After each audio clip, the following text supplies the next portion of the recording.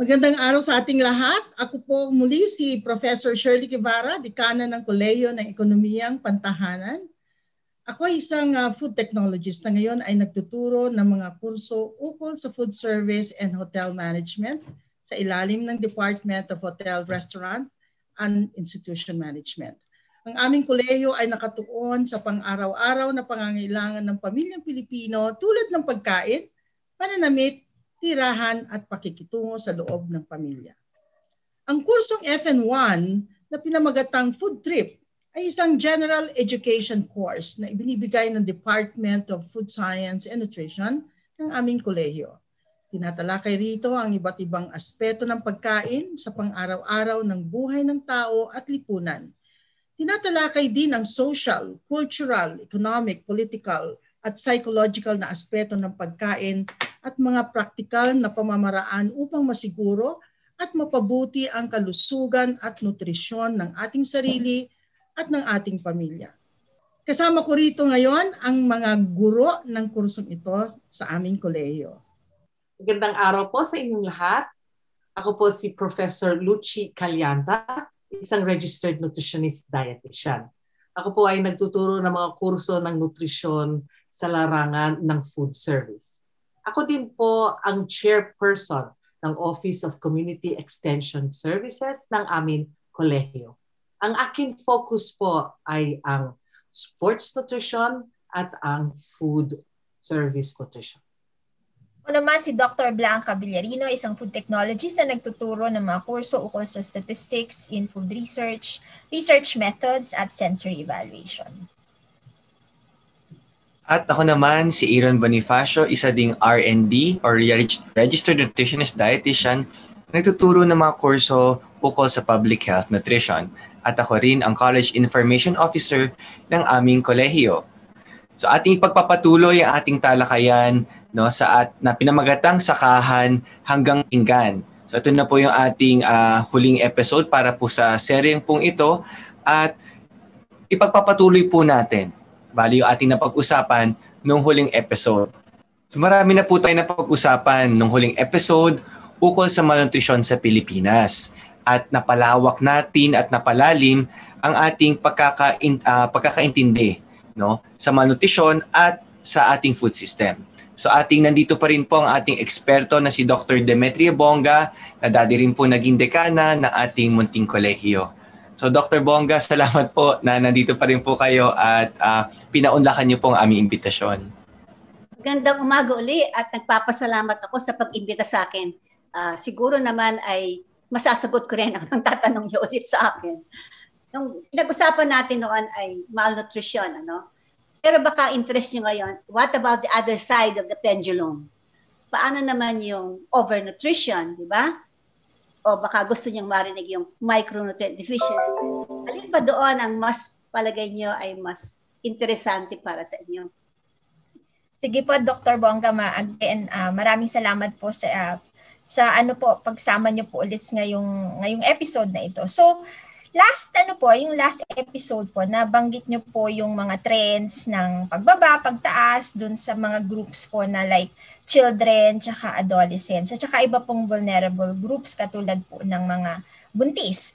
Ang interested naman po kaming malaman ngayon, paano po yung ano, yung mga nakakatanda at tsaka yung uh, adult population Um, kasi very alarming po yung ni-report nyo or na, nabahagi nyo sa amin last time na Bumababa nga po ng konti yung uh, undernutrition pero pataas naman po. Grabe yung ano side yung uh, yun nga po yung sabi niyo other side of the pendulum yung overnutrition.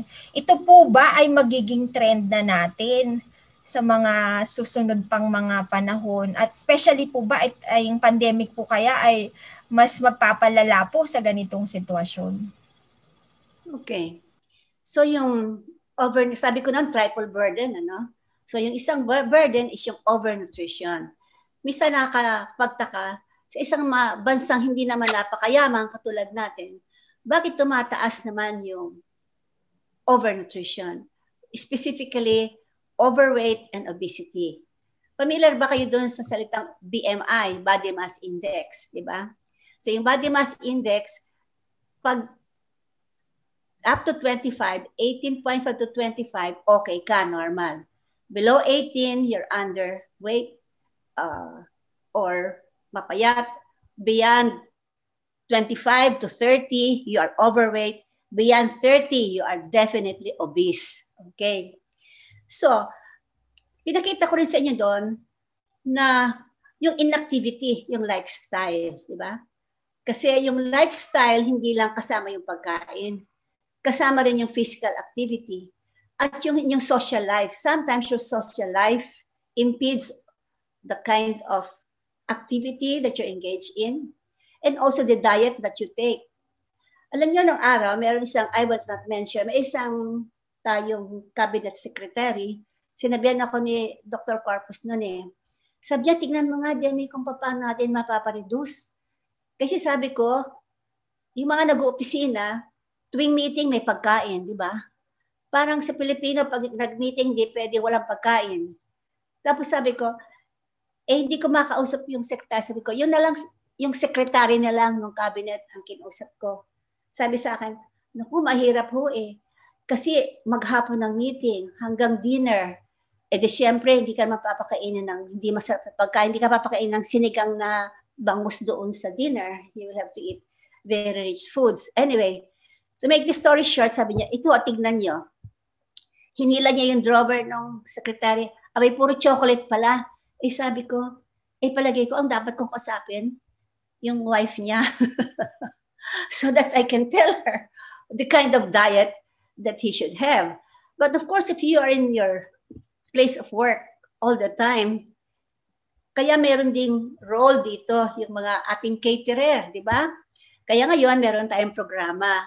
Uh, ang WHO, ang focus nila ngayon, overweight.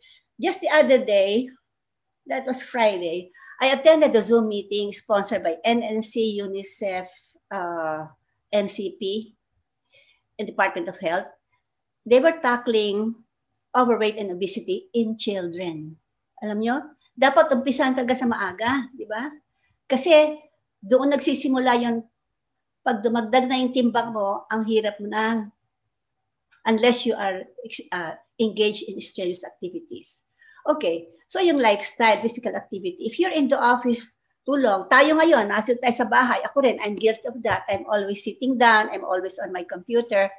But if you know how to regulate yung pagkain mo, siguro, even if you eat several times, small meals several times a day. Hindi man yung big meals several times a day. So it starts also with diet first, okay?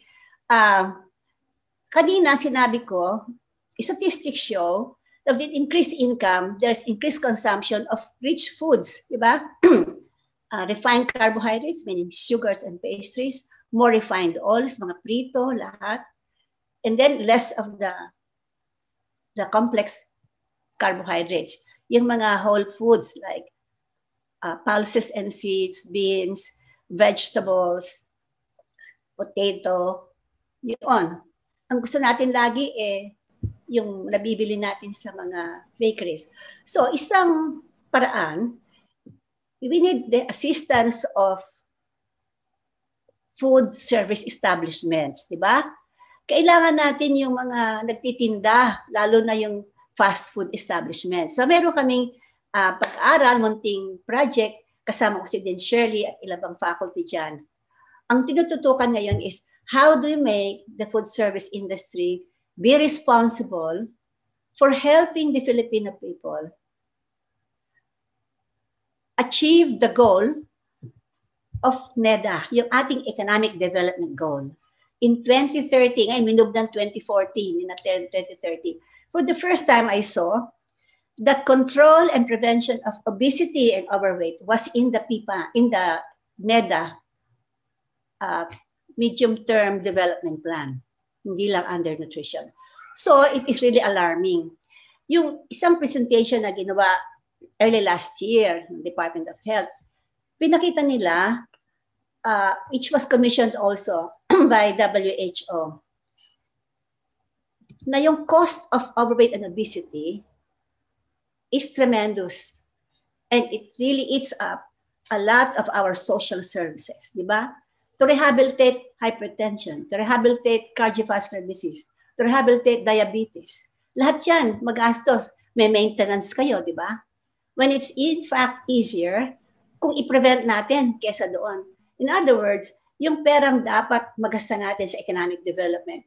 Now, minsan nalalagay natin sa social service, di ba? Kasi we have, the government has the duty and the obligation to assist those who are affected.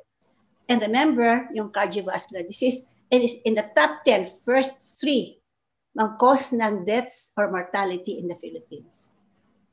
Doon sa study niyan, pinakita, it cost billions of, the, of pesos to really invest in curative services to address non-communicable diseases. And they Siguro, are yeah, yeah. preventable, di ba? Mabuti kung Yes, hindi Doc, no? Ba? Siguro po kailangan maging clear sa ating mga nanonood nga no ang link ng obesity o pagkataba, labis na pagkataba o timbang sa sa mga sakit na tulad nito no. So uh, paano niyo po uh, mako-communicate po sa ating mga uh, tagapanood na ganong kabigat o na ang ating nutrition uh, sa ating uh, risk o yung panganib na magkaroon po ng tinatawag po nitong non-communicable diseases.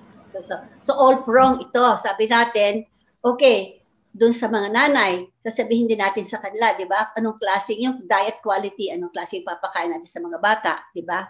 And then sa school, malaki ang role ng school. Uh, kung walang pandemic, ang mga bata spend most of their time waking hours in school. And the school is a very good venue for inculcating lessons and information about overnutrition. Umpisin din natin ang role ng school. Anong pagkain ang tinitinda nila sa school cafeteria? Kasi minsan, sabi nila, hindi na pwedeng labas ang bata. Meron silang red, green, and yellow yata sa ano sa DepEd, di ba? Yung red, yung mga pagkain hindi dapat isinaserve sa canteen like soft drinks, highly sugary foods, highly fatty foods, yun yata, ano? Uh, so that's another role. Tapos yung curriculum natin, di ba? Saan matututo ang mga bata ng leksyon tungkol sa wastong pagkain, ang idudulot na sakit ng sobrang indulgence in very rich foods, di ba? Uh, si Dr. Shirley at saka si Prof. Pilosis, kinausap nila ang DepEd. Eh mukhang kailangan din ng DepEd ng assistance to create modules that will be incorporated. Huwag na tayo magdagdag ng lesson, napakarami ng subject. How to modify the modules so that you can promote or communicate sound nutrition information. Yung sample niyo, maski sa mathematics, may sample kayo nutrition. Gusto ko na kinakalkulate nyo, kalkulahin nyo siguro yung BMI, di ba? Maraming pwedeng gawin. Okay, calculate calories. Isa pa yon yung calories medyo uh, na may problema kami doon. Kasi to ordinary people, calories may not mean anything, di ba? Sa nutritionist, alam niyo yung enerhiya, hindi na intindihan nila. Di ba? Tapos, hindi naman tayo masyadong uh, conversant sa labeling, di ba? Hindi man nagbabasa ng labels yung mga nanay sa pagkain para makita nila kung ano ba yung laman nitong pinakakain sa mga bata. Di ba? Importante yon Kasi, uh, yung sodium ba nun? Yung sugar ba nun? Yung mga ingredients mo nun? Dapat ibigay sa mga bata. So, information. And then, of course, the parents are also supposed to guide children when eating out. Yes. Sa aming FGD, no, sinabi ng mga dietitians na to, eating out is a treat for the family, di ba? So, once a week yung iba eh. So, they go to the fast food and they choose whatever they like to eat. But they may be guided, di ba? Kung mm. ang nanay nakakaalam, o ito anak, hindi ito, uh, itong less calories siguro. Kasi may pag-aaral din sa Amerika, Canada, pinakita nila na the, ma, the parents, the mother specifically, has a big role in controlling and guiding the kind of food that the child will eat. Mm-hmm. Overall, parang merong 26 calories. Napakaliit na, but it's a good start. At least there are decrease in 26 calories in the amount that the child eats at one time. And hopefully, you develop the habit para ano yan eh, sana yan. Pag sanay ka na ng hindi masyadong rich ang iyong pagkain, it becomes a lifestyle. Ayun. Oo. Para activity rin. Kung maliit kayo, di ba, malaro kayo ng laro, maski gutom na kayo, hindi pa kayo tumitigil. Naalala ko yun sa mga bata dito sa amin ngayon eh, maglalaro sila maghapon. Anyway, kung may paglalaroan. Ayun. Ang problema yon even in our public schools, walang space. And when I read, I read na doon sa, sa, seminar last Friday, some of the schools don't even have a space for physical education. Yes. Oo. Ilang percent na lang ang meron. Pa- Paano yan? Eh, nung araw, ang physical education, eh, talagang mang, malawak ang iyong pwedeng paglaruan. But, of course, in urban Manila, Manila na walang space for the house, much more, naglalaro ang mga bata sa kalsada, di ba? Kaya minsan, it's obfuscation. They make use of the streets as their playground, which is not good. Yes. Oo. So, Ako, how do we help them? Hmm. napaka enlightening ng inyong sinashare sa amin, no? Ah, lalo na yung pagtalakay ninyo doon sa mga NCDs or non-communicable diseases. Na-mention po ninyo yung obesity, no? tapos yung heart disease. And, ah, alam ko po, meron pang mga iba, no? yung mga ah, diseases, mga sakit na hindi nakakahawa. And mention din niyo po ang lifestyle, no? Ah, ang physical activity. And sa previous ah, ano rin natin, no, previous episode natin natalakay din po ninyo itong physical activity or the lack thereof no ng physical activity. Sabi nga po kasi ng mga dalumhasa sa ah, ehersisyo, hindi nyo po kayang i-out exercise kung ano man po ang inyong kinakain, no? So napaka-importante po. Meron pa po ba kayong ma-share na mga iba pang mga lifestyle uh, changes ba or lifestyle practices that can address itong ating problema sa malnutrition? Overnutrition, ibig sabihin. Oo, oo. Nutrition, okay. So sabi ko, Oo. physical activity is very important. Proper diet is important. And then sabi ko, dapat yung environment should also be an important factor. Di ba? You can demand what is offered. So we al- al- also tell the food establishments, paano tayo magkaroon ng good choices, sila mag-offer din sila ng alternative, di ba? Uh, meron ako isang project na ginawa, ginawa noon with WHO, with some of the eh, CHE faculty members, yung nutrition faculty, yung uh, tinatawag naming healthy choices, Ah. helping the food processing, food manufacturing industry to limit the amount of sodium, fats, especially saturated and trans fat, and sugar, and increase fiber, di ba? Ah, kanya lang, pag ito ay hindi mandatory, eh hindi naman sila susunod, di ba? So ngayon, ito na naman, I'm involved in Choices International, uh, ASEAN countries naman ito, seven countries. Bago lang sumali ang Pilipinas, anda ng Vietnam, andyan ang Thailand, Singapore, Malaysia, uh, what's the other one? Anyway, Brunei, I think, is part of it. Now they're looking at mandating or regulating the amount of sugar and sodium and fiber in the foods for children, especially for children, di ba? Kasi mag-umpisa tayo sa maaga eh. Kaya ngayon, I think if there are several countries that will agree to specify or define the amount of sugar and other ingredients in foods, especially for children, then the food industry will abide. Kasi isang country lang, syempre hindi. Kasi ito mga multi, multinationals, they do not produce only for one country. They produce for several countries. So at least in Asia, I think Singapore and uh, Malaysia and now Thailand have were successful in making one multinational cereal factory reduce the amount of sugar present in their cereal, breakfast cereal products. Umpisa pa lang to. Marami pa kaming discuss sa beverages and then other, merong food groups eh, yung nutrient, yung tawag itong nutrient profiling. Okay. Naaalala ko nga po na uh, couple of years back, I think it was, na ipinagbawal ang pagtinda ng mga sugar, sweetened beverages and food malapit sa mga eskwelahan.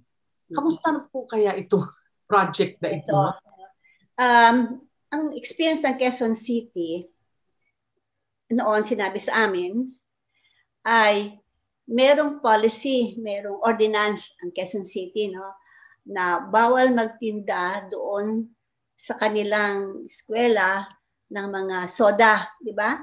All right. Eh, pero kailangan, una sumunod, eh, yung mga namumuno, di ba? eh, but we understand sometimes this is a source of income for the school.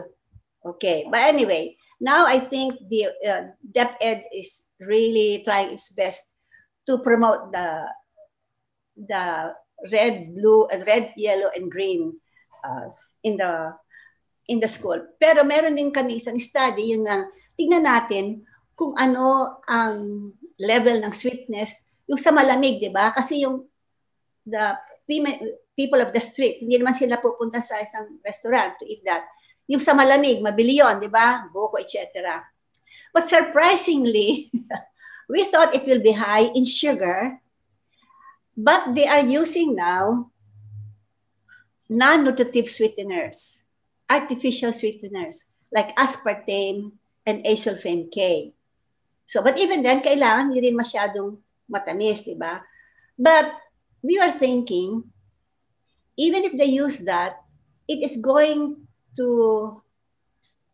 uh, parang influence the child to have a high threshold for sugar, di ba?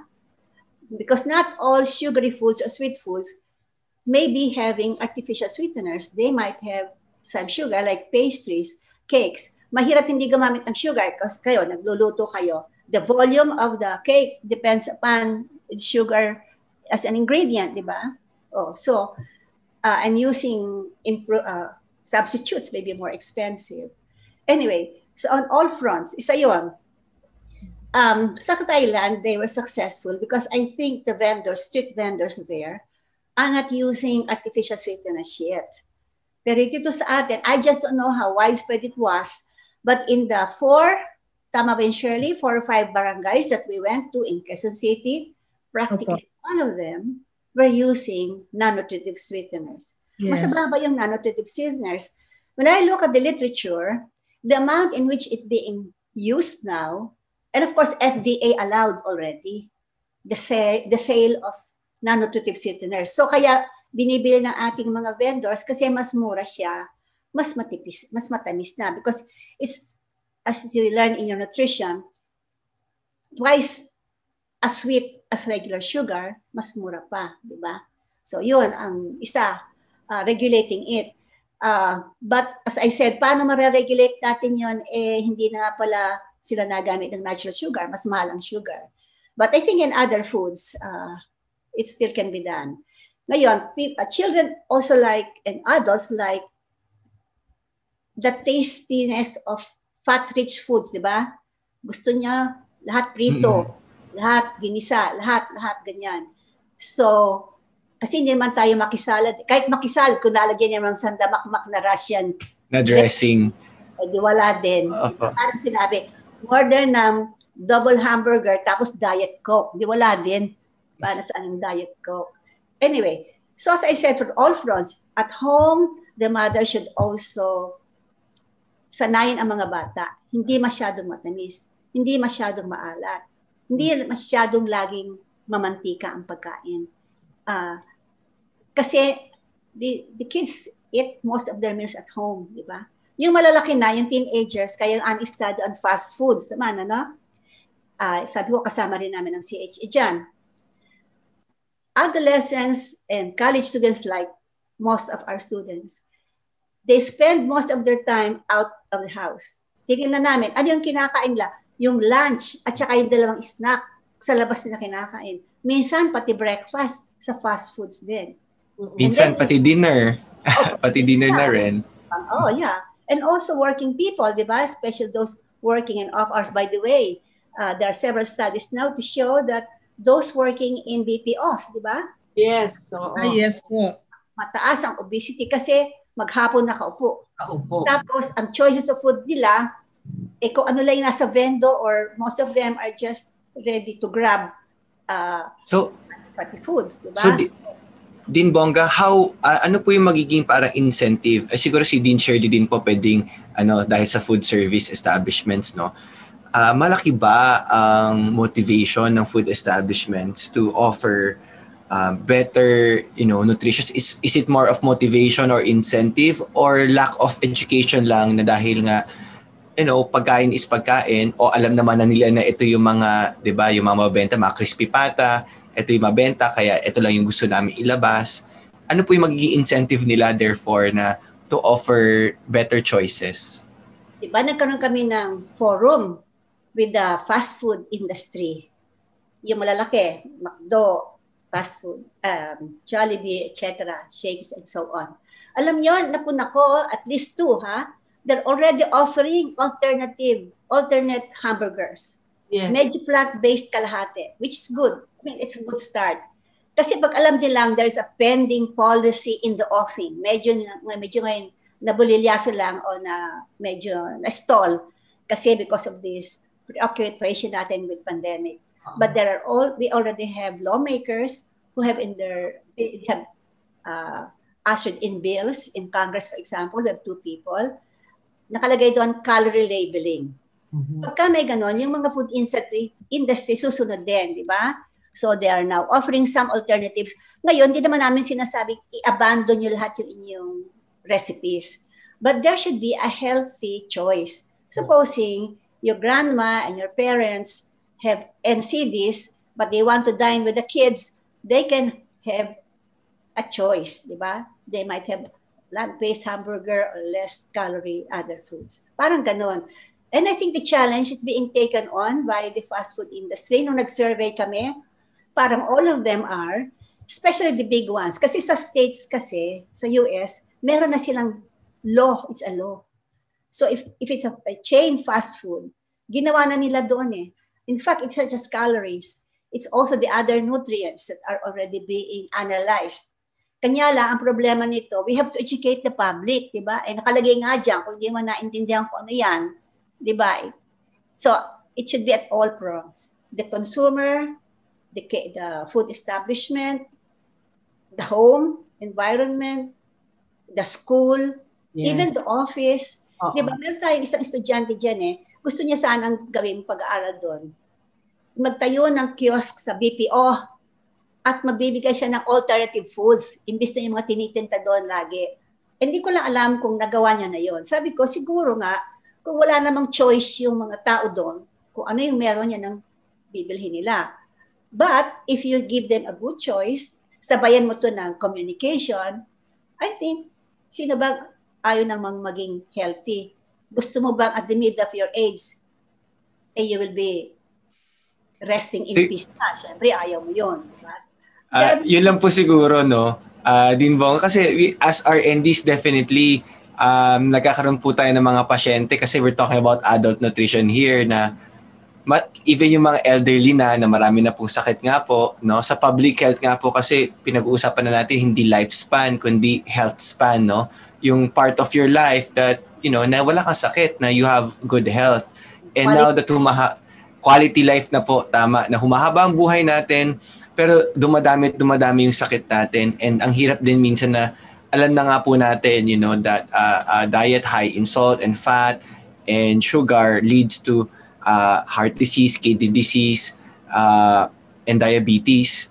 So ano po yung masasabi po ninyo doon sa ating adult uh, and siguro sa mga sa mga registered nutrition dietitians na rin po na how do they counsel, how do you motivate the adults kasi we're having policies here, no, having better choices. Pero naniniwala naman po tayo na at the end of the day pa rin kasi may mga alam nila what is healthy, what is better for them.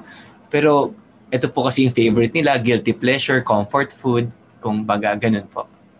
So ano pong mapapayo po ninyo? Na-attend na Zoom, ang sabi nila, uh, I think, was it in Israel or what country? Ginamit nila, ah, it was Barry Patkin, I think, in one Zoom uh, with Thailand, yung fear campaign. Pangtatakot, di ba? sabi nila, so what will happen? Parang ginawa nila sa smoking, di ba? By putting the what the adverse effects of continuous smoking on your health. So yung isang pag-aaral na ginawa nila, ang effective communication campaign daw is one that encourages fear, promotes fear.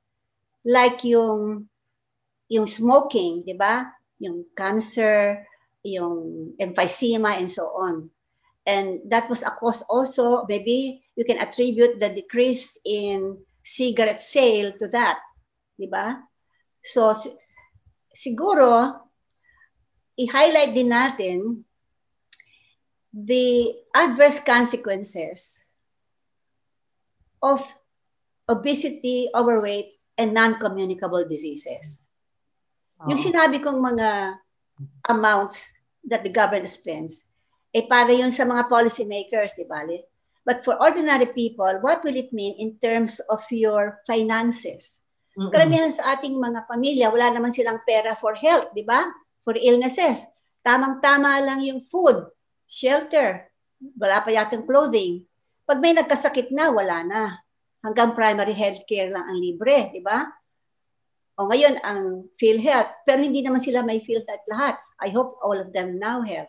But even then, how much of this hospitalization is going to be shouldered by PhilHealth? Maraming out-of-pocket cost, di ba? Siguro yung mga ganong klaseng mga information will have to be communicated. Not to children, but to adults, di ba? And then also the, the adults, the parents specifically, how they can prevent their children from suffering from all of these NCD consequences when they grow older, di ba? Mm-hmm. So, all in all, I think, the economic aspect hits close to the heart, di ba? Hit close to home. So, siguro we have to invent uh, ways by which we can reach out to the target group that will really make them realize that the changing lifestyle is ultimately going to redound to better family life. Sabi mo nga, quality life, di ba? Ma'am, o ma'am, ka hindi ka maka-exercise, hindi ka maka-bikini kasi hindi ka bata do sa beach. Those are some of the little things that may... Speaking of lifestyle po, uh, sususugan ko po yung nasabi nyo na nung una na dun sa pag-aaral natin under the Food and Agriculture Organization ng United Nations na dun sa interview namin sa mga uh, taga DepEd, uh, dapat magumpisa talaga sa pagkabata nila yung ano yung lifestyle na yan ano. Dahil kahit sa eskwelahan kulang pa rin ang curriculum nila no para matuto sila sa mga uh, tamang uh, pagkain, uh, tamang lifestyle. At um, kahit yung mga pag-uusap natin sa mga nutrition dietitians, um, naalala niyo yung focus group mm-hmm. discussion natin. Doon sa call center, nagkaroon kami ng pag-aaral dyan, Dr. Bonga, na tama po kayo, bukod sa hindi po sila masyadong gumagalaw, meron po silang coffee break, puro coffee kasi libre yung kape. Tapos sa uh, pagka naman meron na silang break time para kumain mga isang oras, napapaligiran sila ng mga fast food. Kaya na nakaganda yung isang uh, kumpanya na naglagay ng isang kantin doon sa loob dahil uh, puro na lang convenience store uh, ang kanilang pinapatronize. Kaya yung lifestyle natin talagang uh, nabago at kailangan din baguhin at ibalik doon sa siguro mas uh, ideal no at alam niyo ito mga nutritionist dietitians On a bigger scale naman po, bigger picture, pag-usapan po natin yung angkla ninyo sa international arena, di ba? Yung SDG 3 na tinatawag natin ng United Nations Sustainable Development Goal number 3, uh, which is on good health and well-being. Ano po ba ang mga uh, bukod sa ating pag-aaral about caloric labeling sa food service establishments at uh, yung ating uh, pag-aaral doon sa sa sugar content ng mga uh, binivend o tinitin, tinitinda ng mga inumin sa mga barangay no uh, ano po ang uh, nagagawa na sa sa international scene? Sabi ko, WHO is really focused on um, non-communicable diseases at this time because the prevalence worldwide is really alarming. Okay? Ngayon, ang FAO, on the other hand, is also trying to strengthen its nutrition um, department. But it's basically more uh, involved in food security. Kasi, alam mo, yung food security, magiging uh, cost din niya ng malnutrition, hindi lang under, over. Ano ang pagkain na mura pag kulang ang, ang income mo? Kaya bumibili tayo ng mga pagkain matatamis, matataba, malahat. Kasi yun nakakabusog, di ba? Kung ano yung nakakabusog. In fact, there was a study here by, ano eh, by Bowis, and I tried to take note also, that the consumption of foods, uh, non-staple foods, increases also with increase in income. And in 2020, it has increased. Fats and oils also increased, di ba? Hindi lang laging the poor are not eating enough calories. In fact, maski sa US, even the poor have a high prevalence of obesity and overweight. Why? Because the cheapest sources of calories are carbohydrate foods, sugars, and fats. Diba? I agree. Kaya, tsaka masarap siya, syempre. Kaya sabi mo, it's not always the money. Feeling sa stomach po, tulad ng mga only rice, ano po. Hmm. So, yun na lang Kaya, po ang patronize na lang. Right. At saka, siguro, yung pagkain ng more non-staple, like fruits and vegetables. Kanya lang ngayon mahirap magsabi ng fruits and vegetables, di ba? Kasi mas mahal pa siya eh, kesa doon sa mga pagkain.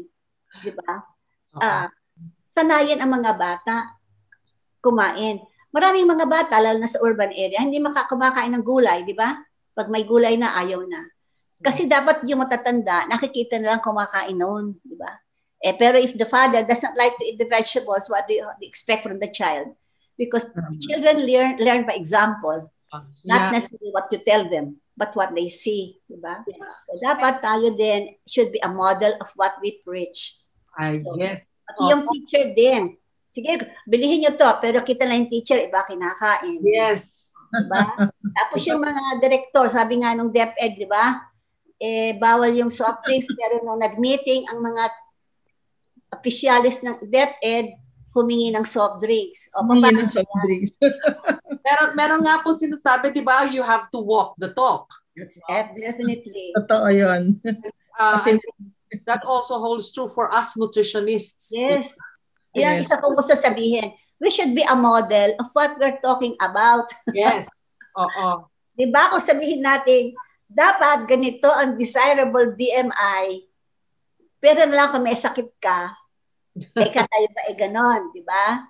Oh, importante yun. Especially siguro now in the age of elect yun uh, social media, no? Maraming maaari tayong i-share sa mga iba't ibang citizens no ng ating bansa and dapat yung mga we have to be careful kasi tayo hindi naman tinitingala pero we are considered as the experts so Aaron tayo dapat mag ano, 'di ba? Maging uh, model nga of uh, lifestyle check kayo. uh, opo, lifestyle check.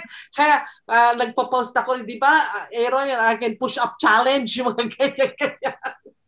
oh, tsaka, Very well said. Uh, I I uh, uh, I know that you've been talking about sugar, but I hope that you will also look into salt. Kasi, oh, yes.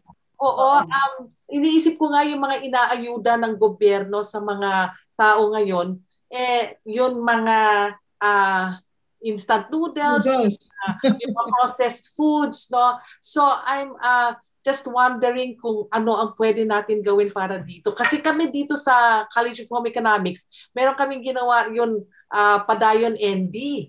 And we specifically did not use the flavorings, no?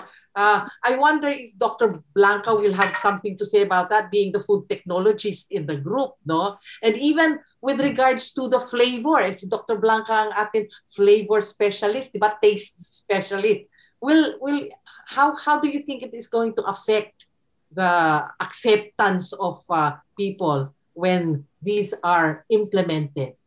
Well, actually, ma'am, mar- matagal na yung pinag-uusapan sa food industry kasi nga alam naman ng food industry ang laki ng responsibility nila in terms of nutrition.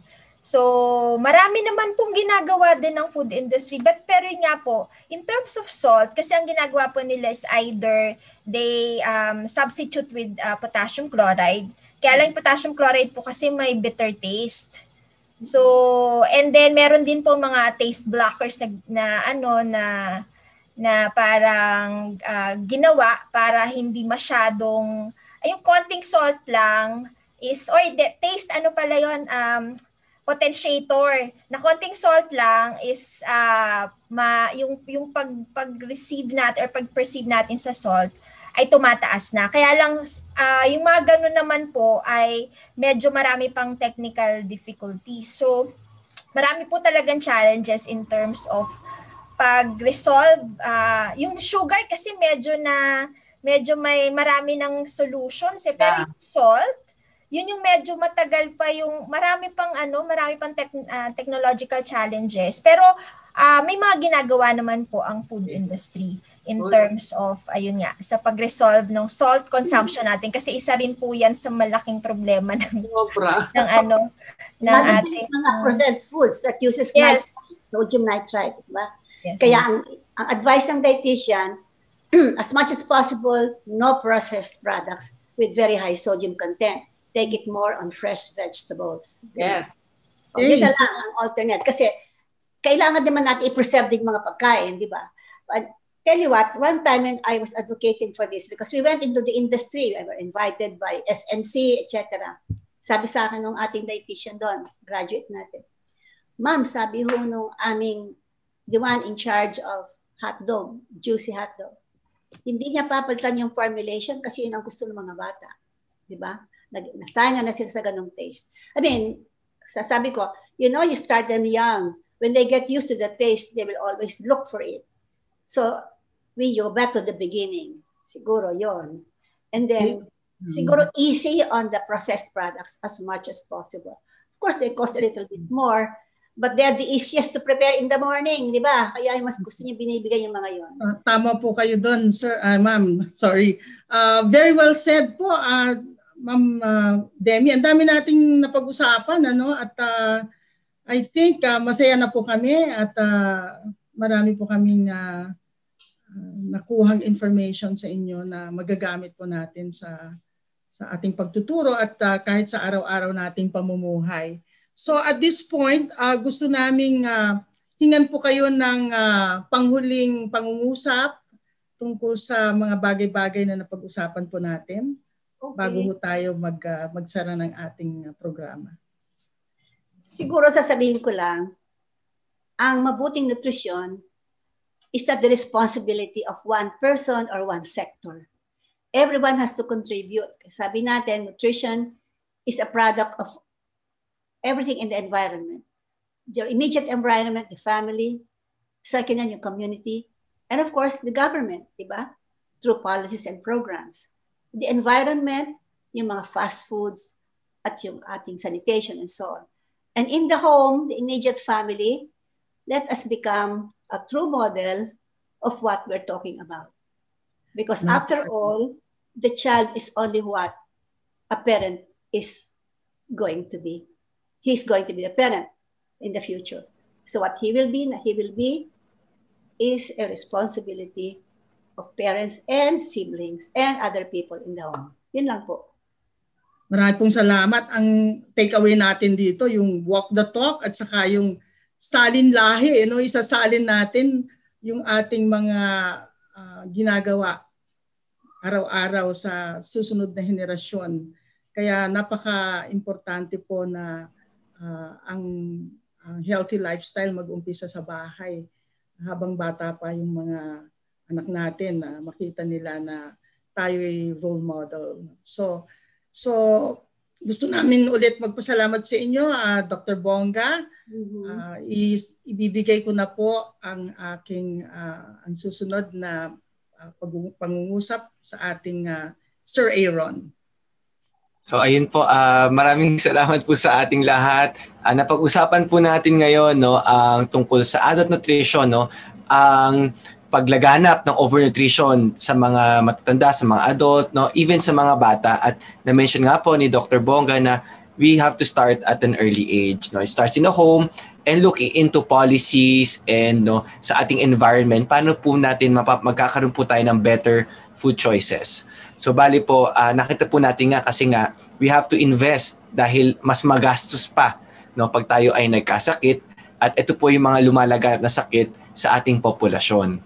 So bali dito po nagtatapos no ating series sa um, sakahan hanggang pinggan at nakita po natin yung lahat ng aspeto from their food uh, system, uh, talking about food security, uh, food innovations and sustainability and now we talk about syempre yung punot dulo po nito ay lumalabas po sa ating nutrition at kalusugan. So maganda po uh, na sana po naintindihan ng uh, ating mga tagapanood uh, kung paano mula pa lang sa sakahan hanggang sa ating pinggan, marami pong nangyayari, marami pong mga salik na hindi lang po ay ito lang po ba ang favorite natin? Hindi lang pala ganoon, no? Marami pa pong nagpe-play ng mga factors, but ito lang pala yung available sa ating uh, mga pamilihan. Kung kaya uh, sa sunod po mga episodes sa FN1, ating masihimayin, tatalakayin ang mga factors affecting our nutrition, ano po yung mga specific na mga gabay para po sa ating dieta at sa ating pamumuhay or lifestyle. So tutok po tayo sa sunod na mga episodes ng FN1 at maganda at malusog na araw po sa ating lahat.